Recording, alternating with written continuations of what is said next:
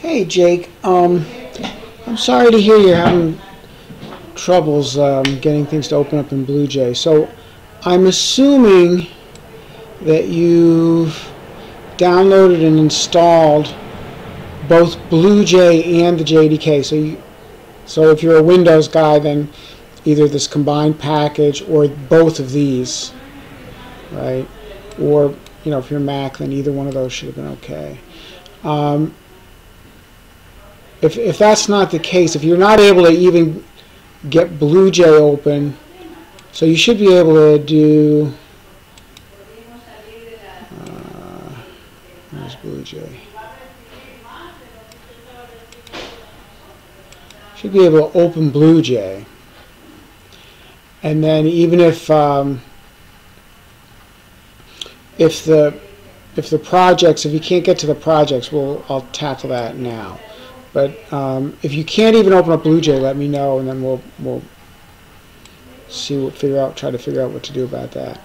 But um, I'm going to go to the textbook here, and uh, I'm going to download the books projects, and I'll give you an idea for for how uh, you might be able to open them if they if they won't open up from inside of BlueJ. So looks like these are taking a long time to download. So let's just assume you've downloaded all the projects and you're I'm going to just go and find some. Um,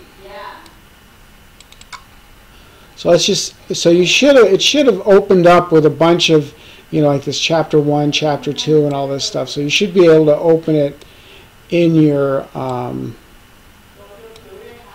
your Finder or your uh, you know Windows Explorer, whatever, in your file system.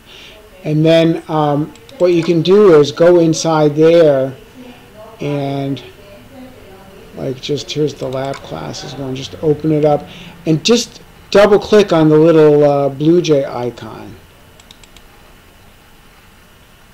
And that should open up BlueJ and open up the, the package, okay? So that's another thing that you can try. Um,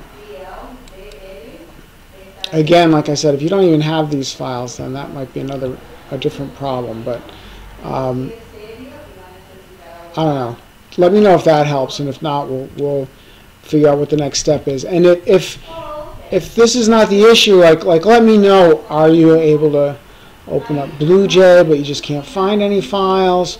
Are you able to get to this point where you can see the files, but then when you click on BlueJ, nothing happens? Or you know, try to get, just give me as much detail as you can, and we'll we'll see if we can track down what's going on. All right. Good luck.